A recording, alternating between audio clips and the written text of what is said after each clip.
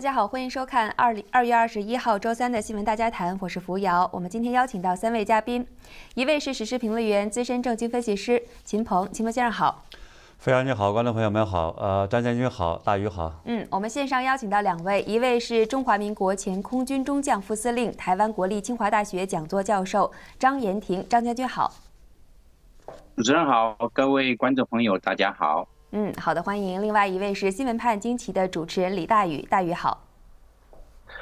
大家好，张晶晶好，秦鹏好，大家好。好的，欢迎三位，我们来关注今天的新闻焦点。自己接丑，中共攻击英国、印度的政府部，中共的网络情报最大泄密案出炉了。安巡内部的员工集体造反吗？美国 FBI 解构中共的黑客，而台湾的金门案再发酵，粉红不买账，中共怂了吗？最近我们看到，为中共公安部工作的中国网络安全公司安巡的大量内部文件遭到了泄密，并且是曝光了它的一系列海外攻击目标以及攻击性的工具还有操作。那这些文件呢，是被匿名发表在了软件开发平台 GitHub 上边。泄密的文件显示，安巡针对不同国家的目标机构团体进行过大规模的攻击，其中呢包括韩国、马来西亚、蒙古、尼泊尔、印度、巴基斯坦、阿富汗、菲律宾、泰国、法国、柬埔寨、卢旺达、香港、台湾、印度尼西亚、越南、缅甸、土耳其政府等等。文件中，安学还吹嘘他们曾经入侵或者是攻击过印度的国防部、北约、英国的国家犯罪局，并且是长期深度访问邻国的电信公司。看到在被泄密的信息当中，有一张是安巡内部公司的内部人员的聊天记录截屏啊，显示说他们的业务范围还涵盖外交部常务秘书办公室、外交部东盟司、总理办公室国家情报局、总理办公室秘书处、总理办公室内阁秘书处、国防部长办公室等等。那在泄露的安巡产品手册当中，还可以看到，安巡宣称自己可以通过隐蔽的手段密取邮件内容，可以在海外的社交平台推特上控制取证，远程控制电脑 Windows 系统、苹果电脑系统，还有手机苹果的系统，还有安卓系统、Linux 系统，还可以通过 WiFi 植入设备等等。而目前在中国的网络上，还可以查到大量的中共政府去鼓吹安巡的文章和报道，所以说这个事情其实影响蛮大的。首先问一下大宇，安巡公司合作的单位，我们看到有中共的公安部、北京市的公安局。还有新疆的网安总队等等在内的三十多个中共的公安部门，然后还有一些国企，比如说中共的水利部、国家电网、多家的银行，还有北京大学外交学院等等这些学校和企业。应该说这些内容都是属于中共的机密文件。为什么这种机密文件会被如此大规模的泄露呢？我觉得可以从三个方面来看啊。首先呢，在 Git GitHub 呢，它是可以说全球最大的一个。他们程序员的聚集地，那么很多程序员不只是中国都在上面泄密。那历年来呀，我看有人专专门整理了一个表格，很多国家的啊，历年的泄密哪一年哪国家泄密，什么巴西的、美国的等等都有，包括中国的。说二零一七年呢，大疆公司它就有一个安全漏洞，它怎么发现了安安全漏洞呢？发现是他们一个员工啊，把他们的一个源代码分享到了 GitHub，啊，让这个外界掌握到了大疆公司他们一个源代码，从而呢就是发生了泄露嘛。那么，二零二零年七月呢，还有两家大陆的企业呢，数据被分享到了 GitHub 上面。那一个数据呢，是来自互联网和科技养老的，所谓科技养老的这样的企业叫孝信通。那么泄露的信息包括什么 GPS 位置啊、手机号、地址。那么还有一个呢，是来自上海研华，那他们也包含很多的敏感数据，什么音频文件呢、姓名啊、员工身份证号码等等，这些都有。那么像另外一个方面呢，就是中共的制度本身的问题。就像你如果是翻墙看到了一个东西，你敢不敢去报警呢？你可能不敢，因为你翻墙本身在中共看来就违法。所以说这中共制度本身问题呢，就是说它这个制度呢，造成很多人看到了海外泄露的一些事情，他不敢及时上报，就造成一些这样的现象呢层出不穷啊，也给这样的事情啊。呃，留出了很多的空间。那比如说之前呢，就有中共公安部的一些相关数据啊，在网上啊，海外的网站被暴露一年多，但是呢，没有人上报。为什么？就是大家害怕你上报之后自己反而有事儿。那比如说国内有的科技业者呢，他就接受采访呢，就说，他啊，他举个例子说，看到有个程序员呢，他发现了这个 CSDN 上有漏洞哈，那他能不能去告诉中共的公安部门呢？他也不敢，为什么呢？因为你告了之后，反而自己可能会被抓被告，那中共可能会以什么所谓的破坏计算机信息系统罪，以这样的形式来起诉这个人，那相当于就看到老人摔倒了，现在我不敢扶，扶了呢，他自己就倒霉了。所以没有人敢做这样的事儿啊，所以这是中共制度上的问题。另外一个，有一些企业制度上的漏洞呢，可能也会造成这样的现象。我们就顺带讲了哈。那比如说，这不是中国的例子啊，是美国。美国有个企业叫思科，思科有员工呢，他离职五个月之后了，那他的这个账号权限呢，还是随身带着，并没有被收回。所以说呢，他离开思科之后，他就开始做了一些泄密的事情。那么思科后来才发现。因为这个员工呢，他的账号权限还在，所以他还能登录思科的系统啊，这也造成了这样的泄密的情况。那么第三点呢，就是说，这个安巡内部的员工不满啊，也是造成这个重要原因之一。因为现在呢，一些分析已经指向了现在的泄密很可能是因为他内部员工的不满。那当然也不排除这些员工呢，他们。有了正义感啊！经过翻墙，经过看到很多正面的信息，发现中共做的很多内部的事儿、暗中做的事儿啊不光彩，所以他泄露出来了。不过现在对于安巡的泄密呢，很多人可能觉得还是比较像是这个员工不满造成的泄密，因为很多聊天记录啊是在这个泄密内容里边，大多数都是聊天记录啊，微信的聊天记录，像编年体一样，像以前我们看到的一些古书写的哪年公元前某某年什么公什么王说了什么什么话。那现在就是换成了哪一年？二零二零年、二零二二年，呃，这个公司内的员工或者哪个老总说什么话啊，像编年体一样，通过这个形式说了很多信息，泄露了很多信息。如果说是他是谎话呢，他可能泄露很多。我说啊，如果他有正义感的话，他可能是泄露很多关键的一些软件啊、一些平台信息哈。但他泄露很多这聊天信息，里面都是很多暴露这个对公司不满的。所以我想呢，这方面的。就是对公司不满的可能性更大，那这种泄密呢？我想呢，这是有代表性的，因为它是来自中国的一个企业嘛，而且这种微信平台的截图、微信平台的留言，任何员工都能做。所以说，像类似国内的华为啊、什么海康威视啊等等，类似很多的中共的这样的企业，可能都面临泄密的风险。那么，包括这样的员工在内哈，因为他们本身是做这种骇客的啊，做这种所谓的。反这种说对国外渗透吧，这么讲比较准确。所以说他们本身也会具有这样的意识，他们可能想留点什么东西啊，他就是这样的人嘛，他可能在平时生活中也会注意这方面事情。所以中共国内很多的这样这样从事这样职业的人呢，都有这样泄密的风险，这对中共来说也是一个负资产哈。那么可以简单举几个例子哈，他们员工是怎么抱怨这个安信公司的？比如说，有的员工说啊，他自己要离职了，因为付出跟不付出是一样的，在企业里面人浮于事啊。有的人就是凭关系能得到很好的，他自己再怎么干，跟那个人得到的一样，所以这样的人心灰意冷。那还有的安巡内部的员工女性啊，他本来招进来是做各种各样的技术工作的，但是呢却被招去陪酒。那有的女生就说呀，自己老是被领导找去陪酒，说有的人可能有心眼儿啊，不去陪，但他自己呢就经常被找。然后呢，陪酒之后呢，甚至有的人啊，他自己互相之间抱怨，在这个里边都体现出来了。说抱怨什么呢？说自己感觉身体不舒服，妇科病啊，想去检查，是喝酒之后造成的。是怎么造成的？说可能是熬夜，再加上喝酒，对女性的身体伤害就很大。所以说呢，他这样的曝这样的聊天呢，都被曝光出来了。那另外呢，就是说，有的人啊，就员工啊，他抱怨说，安旭需要拍马屁的人。说哪些哪些这个老总不能惹，哪些哪些人你惹了之后可能会被穿小鞋啊等等这些话也说了，完有的人也抱怨安巡是养老班啊，说走了很多人呐，公司大换血，然后不断的招人，不断的一这几年一直在招人，就说明这个他这个内部员工呢，他很多就留不住人嘛，他的企业文化有问题，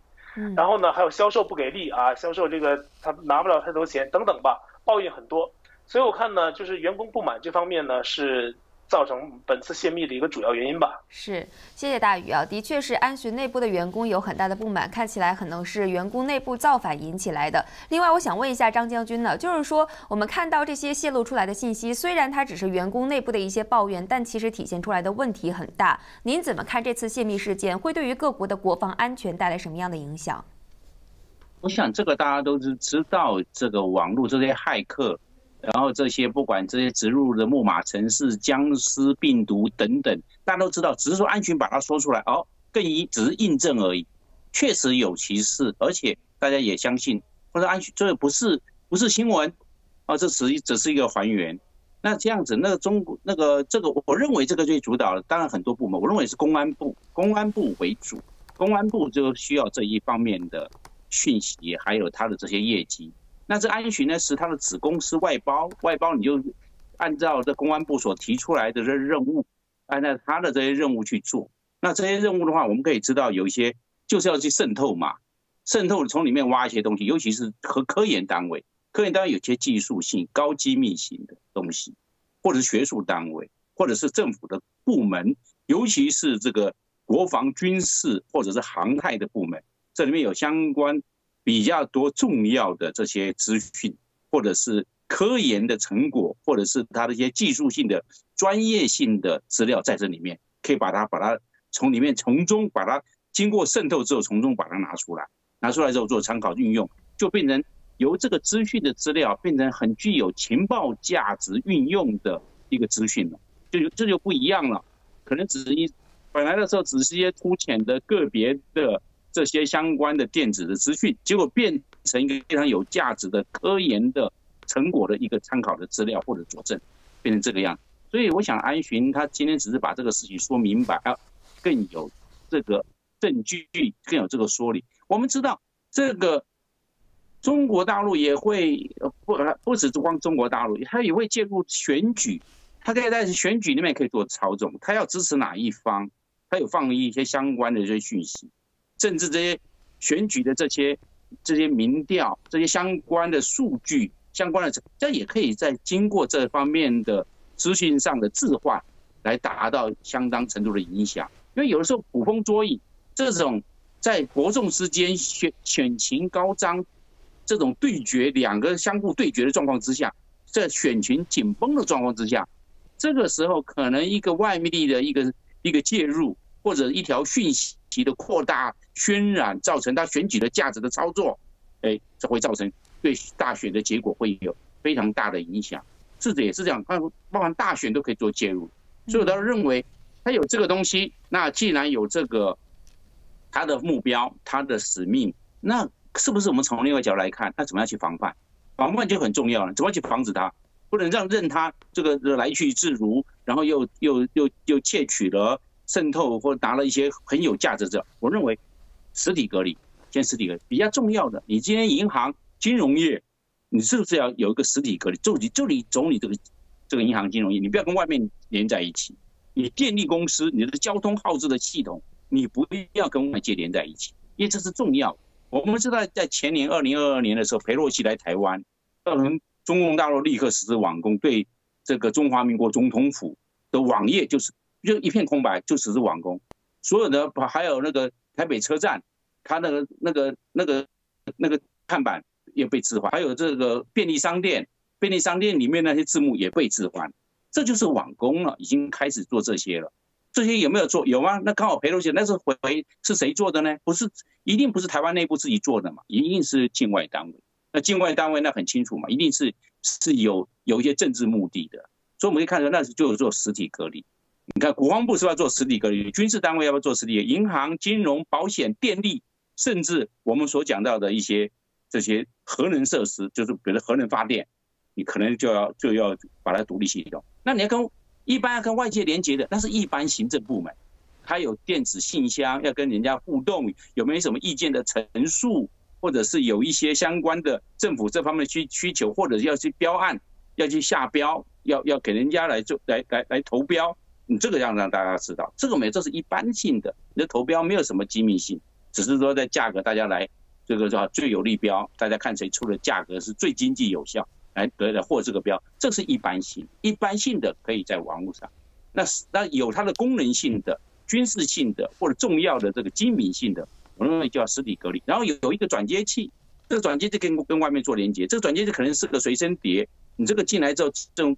经过这个检测有没有病毒在里面？没有病毒在里面可以使用。使用完毕之后再回来做检测，这个地方有没有病毒就植入？没有，没有之后回到原原回到原点。这是个实体工艺的这一个随身碟，它是具具有扫描功能，有没有相关的资讯被植入，那就可以查得出来。所以他认为实体隔离是个很有效的，但是实体隔离我们知道成本会比较高一点，但是成本高一点，你为了治安，你可以一点稍高的成本支出，但是却获得非常大的保密的成效。你这资讯一出去，你看看那资讯出去几几千笔、几万笔都有，哎，那很快的。网络上卖的时候，我们知道那个全台湾两千多万人的个资，你在我在在在市场上卖才几十万而已。你看他是本小校高，他需要哪些人物是政治人物、教人物、教育界的，还是这个这个其他地方政府的资，马上就有了。他的个资、他的病、他的身体的状况、健康的状况，马上他的财报马上就会有，很清楚。他才卖几十万，看便不便宜？那么大笔这个资料库。是那个他从这个资料库，他会做出大数据，从大数据中他会找出一些这些这些苗头就出来了，可以抓住抓出一些重点跟头绪。那这样的话，这可以把对方的这些这政治影响力、经济影响力、地方势力的影响力，通通抓到手上，那就不一样。但是不是不是本小效高，是不是本小利大，是这个样子。所以我们来看呢，他有他的方向，他有他的目标，他有这方面的组织。向公公安部负责，向统战部负责，或者是向他的科研单位做负责。但是我们有防范的效果，一定要这个样做，而不能要出乎大意。最重要是我们不知道我们哪些的资料已经被他拿去了。对。是非常感谢张将军给出的这些建议啊，的确可能实体隔离是一个很好的办法，这样就可以就是说避免就是很多的信息连通起来，窃取了一个地方就可以连通到其他的很多的这些端口。非常感谢张将军给出的建议。另外。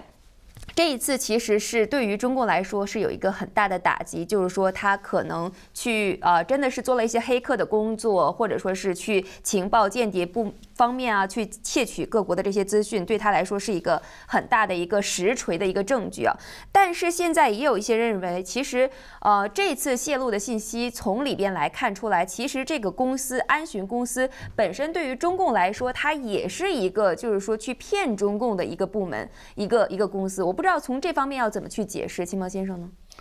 呃，我们先说这个安全公司是什么样的一个公司？嗯，呃，这个呢，实际上就是一个我们说小偷公司。嗯，呃，也是呢，传说中的一个红客公司。什么叫红客？呃，就是在网网络上大家知道呢，叫黑客。嗯，对吧？也有人知道呢，说这个当呃美国。或者是日本等等的话和中国发生矛盾的时候，那么中国呢就会有一些黑客开始了大规模的去攻击呃这个其他国家的这些呃政府啊或者什么机构啊等等这样的一些服务器，就是粉红黑客。哎，好多人以为这是粉红黑黑客，但事实上来讲不是，就是也许这里边会裹挟着一部分的粉红黑客，但是呢这里边往往的它的主体是得到这个核心认证的，就是说中共的公安部。中国的国安部，它双方认证的很多的正是有国家的这种内部编制身份的这样的一些人。哦，而这些人呢，我们说，当中共需要去窃取情报的时候，那么或者做其他很多这种见不得人的事儿的时候，当然有一部分实际上是由中共这个最核心的一些官方人员，公安部的、国安部的，或者是军方的等等这批人在做。但有一批呢，他其实是以这种公司的模式。这样的话，他在将来出事情或者做这些事情的时候比较方便，而且他可以比较呃方便的的话呢，是从社会上吸取各种各样的这些资源。嗯啊，所以我们看到实际上这个呃安巡就是这样一个公司。那么它的这个创始人，呃，二零一零年的时候这个建立，那么它的这个创始人实际上就是来自于中共的内部认证的这样一个红客。哦，啊，所以他是有官方身份的，所以他才能够做这么多的这个中共国安部的、中国公安部的或者其他政府的这样的一些客户。嗯，那我们看到他自己在介绍里边，他说大概有三分之二的客户是来自于中共的公安部。嗯，啊，所以这个实际上是这么一家公司。他这家公司呢，在呃做这个业务的时候，他呢会去呃卖一些情报，对吧？从这个呃北约秘书长的这个文件夹到这个。印度政府的这些文档，或者是台湾的一些情报等等的，就直接卖给这些不同的公安部门，他们有他们自己的一些要求，然后呢，一对一的去进行销售、进行合作。当然，在这个过程当中呢，他们有的时候也打在，毕竟在社会上活动，他也打了一些合法的一些，或者是看起来冠冕堂皇的一些形一些形式，对吧？或会做什么平台，或做什么样的一些工作。但是这些事情来讲，那我们从他的这个呃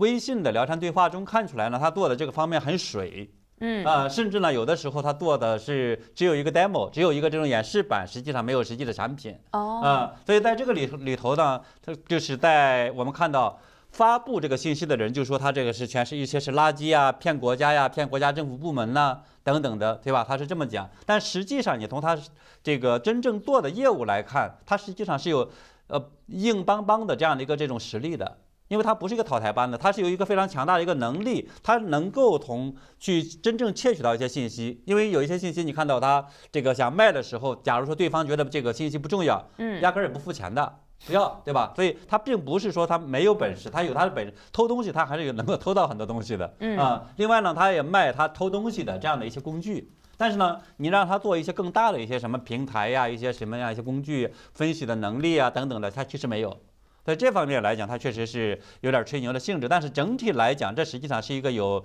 实力的一家这种公司，所以这个整个是这样子。当然说这里边也有可能有一些这种我们说浑水摸鱼的东西在里头，对吧？嗯，但是这个呢，就属于这个中共模式的靠山吃山，靠水吃水，就是说它既然会有这样的一些呃国国家的。公安部门的这种项目有这样的一些合作，当然大家就可以上下合作起来，一起来去骗一些钱了。所以这个是在中共的这个体系里边都是这么干的，所以这个也我觉得也没有什么任何问题，对吧？大家都这么干。另外呢，我觉得他这里边还揭露出来是什么呢？就是这些公司其实也经常干一些敲诈勒索的事情，比如这个安群公司的话，它这个聊天记录里边黑吃黑，对吧？它要做一些色情网站、网聊的，或者呢做一些博彩网站去做钓鱼。或者但它做其他其实啊，它的内部文件还显示说，他们其实是去打击这些网站的。呃，但是他有的时候也做这些东西，嗯就是说你这个里边他是很难去呃界定的，因为对中共来说呢，它呃其实在圈儿内或者我们说政府的内部里边体制内，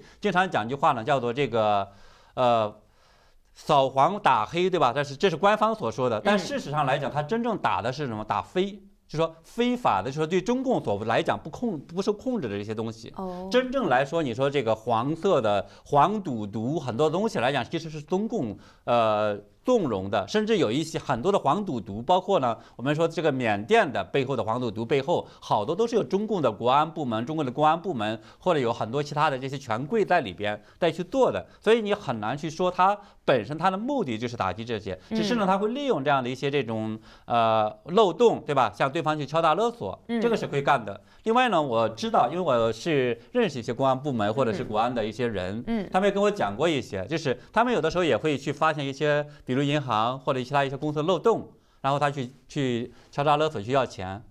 哦，嗯，对，当然也不能完全是他敲诈勒索，因为他确实是呃发现了，但是呢，某种意义上的话，你又能说，只能说呢，刚才张建军也提到了，就是呃，他很，因为他毕竟是通过非法手段去发现的，是，对吧？所以这个时候呢，他可能就会有一些私下的一些合作，再通过呢这种所谓的做项目的方式，你我帮你弥补漏洞，或者做什么安全项目，帮你把这个漏洞再给你堵上，当然这个钱就到手了。啊，就是说，它其实这里边我们说这种红客这样的一些做法，它当然也会呃真正的去做一些敲诈勒索，比如他这里边就提到说发现了一些波泰系客户系统的一个漏洞，然后通过这个漏洞的话就可以搞定客服系统啊，对身搞搞定了好几个，对吧？然后的话他们就利用了好几个再去钓鱼或者去获取其他的一些这种呃。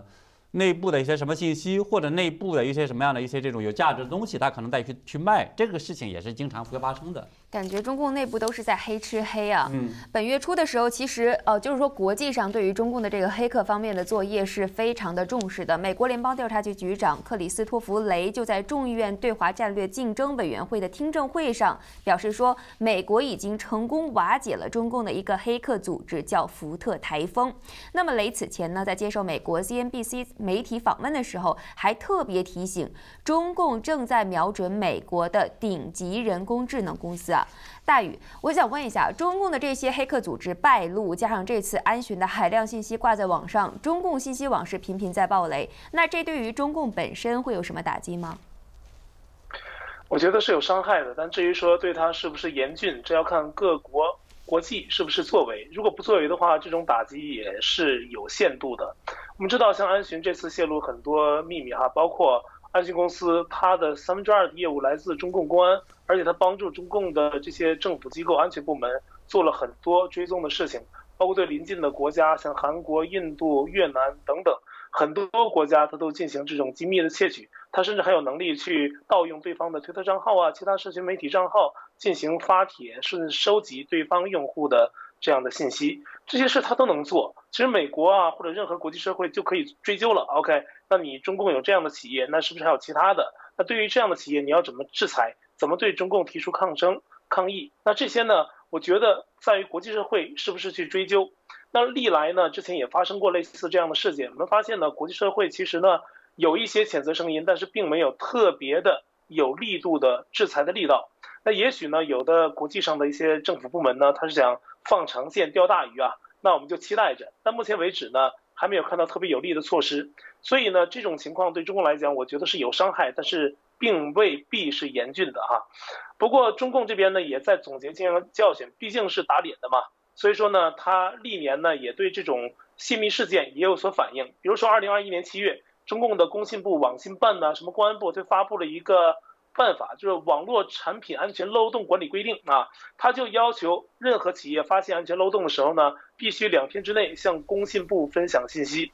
那么在同年的十二月，就二零二一年的十二月，阿里云啊这个企业呢，他就发现了安全漏洞，但没有及时上报。就被中共的工信部给罚了哈，那么在二零二二年的七月七号啊，中共的网信办也出台了一个办法，叫什么呢？数据出境安全评估办法。他们就提到啊，未来如果有中共的企业需要传输超过十万人的个人资讯，或者是传输超过一万人的指纹或者其他敏感的个人数据，那必须接受中共的这个安全审查，那必须提交把这些资料啊提交给一些政府部门啊，包括。传输数据的目的啊，采取的安全措施啊，目的地国家的法律法规啊，最重要的是啊，他们要根据这些信息进行这些信息会不会泄露的可能性的评估，所以中共也是害怕的啊，只不过是要给他施加更大的压力，我想。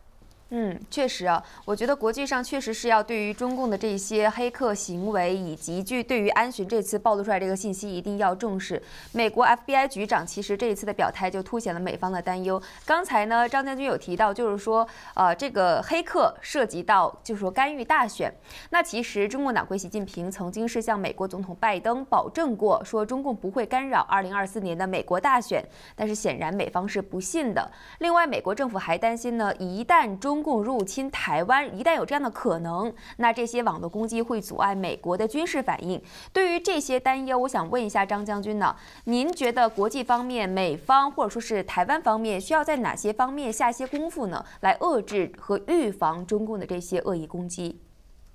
我我认为这些恶意攻击啊是没有办法完全禁止的，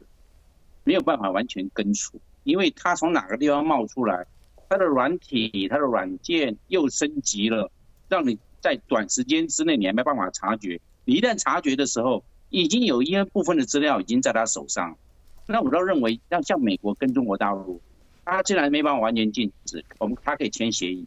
如果签协议了，今天习近平讲了这个话了，签了这个协议了，他的这些作风会保守，他的做事的就不是大拉了大这个。这个敲锣打鼓、大张旗鼓的捞那么多的上网捞那么多，他会很谨慎，马上就要避免被落入美国的、被美国抓到的这些把柄，那他就会相当低调了。那一转要低调之后，他所能够窃取的、所能够渗透进入的，那就就相当有限。我认为要要从这一方面，大家是他是不是来签个协议？有了协议之后，才会有最基本的保障，没有办法完全保障，因为这个软体的是。软件的事情、骇客的事情是看不见的，而且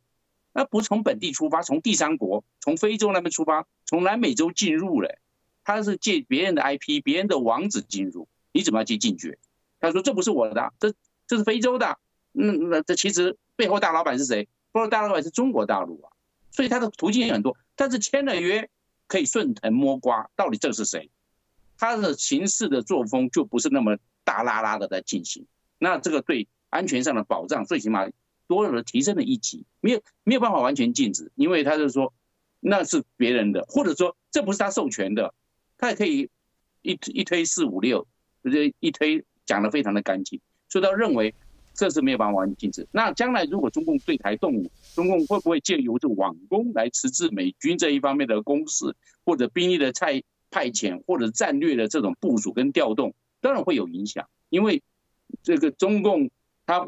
为了窃取这方面的资料，美国会有所防范。美国会怎么办？会经过非常多的繁复的程序来保障自己，那动作就是这么慢了，当然就会慢了，会受影响。这一方面我们要多一层保障。这个方面我们不要从网络上来做联联联络，我们不要做卫星上的这种联络，因为会被破解。封包封包它会截取密码，密码之后就破解出来，那就那我们不要这样来做，可能拿另外一种加密的方式，或者是以以另外一种。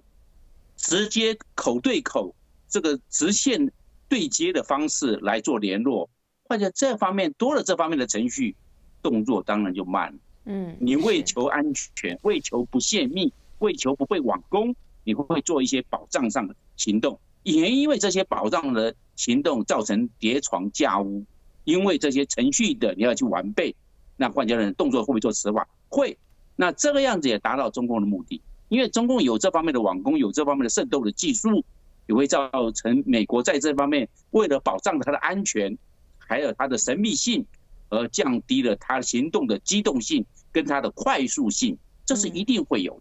那至于美国要怎么样去，那个怎么样去平衡，我认为平衡很重要，一定要做防范。就跟我们今天打仗一样，我们背了一个防防弹背心，我们为了保确保我们上半身的安全，我们背了防弹防弹背心。那因为防弹背心保障了我们上班的安全，但是问题是让我们的行动也变迟缓，那卡来卡去，拿枪也不方便，拔刀也不方便，都不方便。但是为了保障安全呢，所以有一得有失，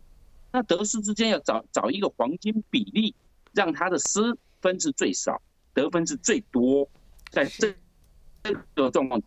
那我就要说，那去那在网络上是不是保障又更近了一更多的一层保障？那这样的军军事行动上面，是不是更加增加了一分的安全性？所以我要认为要从广度跟深度来思考。好，谢谢张将军。秦茂先生有没有什么样的建议？对于这样的一种中共的无孔不入的这种网攻啊，像美台之间国际方面需要做什么来预防，或者说是去克制呢？呃，我觉得可以从这几个层面的话呢，对中共的这样的一些做法进行呃打击。嗯，一个呢，当然是我们说加强自己的这个盾，啊。那么如何呢？去做一些防范？如何呢？是一对一的说出现这样的事情怎么去应对？但是这个再有一个呢，我们说是对这些呃发现的公司和个人进行反击。那我们也看到呢，这之前的时候，美国政府也经常时不时的会发布一些 APT 公司、中共的骇客公司，他的个人、他的许多个人信息进行全球的一些通缉，对吧？所以，但是这个来讲，说是调查实际上是很慢的，也很难真正的去追究。嗯。那么再有一个呢，我觉得是做一些顶层设计。嗯。那以泰山压顶的方式去打击中共本身。这要怎么去做？那第一个来讲，我觉得是要去呢，去揭露中共的这样的一些这种邪恶、这样的一些理论，它的一个呃黑暗的一些。历史这样呢，在整个的这种中共的合法性会得到摧毁。就是您的意思，就是说还是让大家普遍认识到中共它本质的问题。对，因为你如果说只是一对一的去做这种骇客的这样的一个攻防，其实是很难的，很累、很难、很难、很难实取得实际效果的。因为呃，虽然我们说中共的这个黑客的技术，它和美国相比，它可能是是个。是个渣，对吧？但是毕竟来讲的话，你是不怕贼偷，就怕贼惦记着。嗯，所以呢，如果你只是去防这个小偷，其实你很难防的。如果说你把他整个的中共的这个老巢，以及他整个。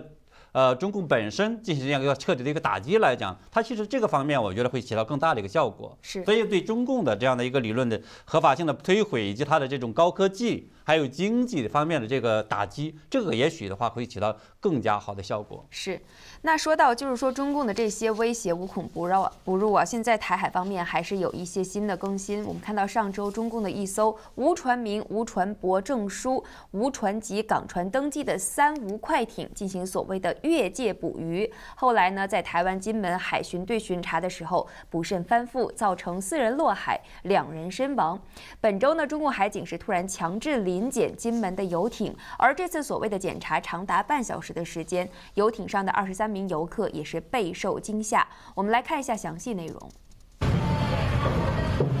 游客们陆续下船，看起来没有异样，但就在前一刻，中共海警直接登上这艘金门观光船，强制临检，吓到不少游客。很怕回不了台湾，海警哎，中国海警，是中国海警，他们还上船，啊。啊，海警上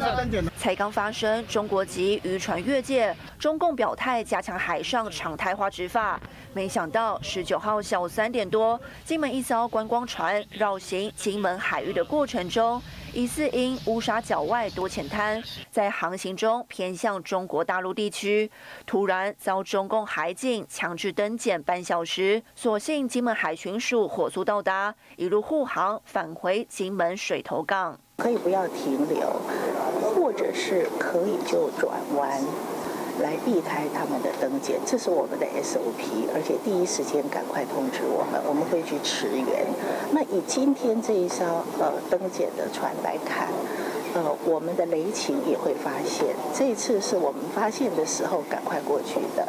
管碧玲表示，不管船舶有没有通报，海巡署只要在雷达、瞭望、守望系统里发现，就会去驰援。也强调，这不是呛虾，而是保护海上的人民。中共强行登检的行为造成人民恐慌，令人遗憾。早在一九九二年的时候，国防部就已经划定了这些啊限制和禁止的海域。那我们双方也都是按照这样的啊区域里面呢来进行相关的执法的作为，所以我们会继续这样做。先前一艘三无中国渔船越界金门海域拒检翻覆。两名中国民众被救起后不治身亡，死者家属二十号上午已抵达金门，由陆委会海巡署专员协助入境事宜。新唐人亚太电视黄亮简、林家维、专用如台湾台北报道。嗯，好的，首先，首先请问一下大宇啊，您怎么看这件台湾的这个金门案呢？这件事情会如何影响两岸的局势呢？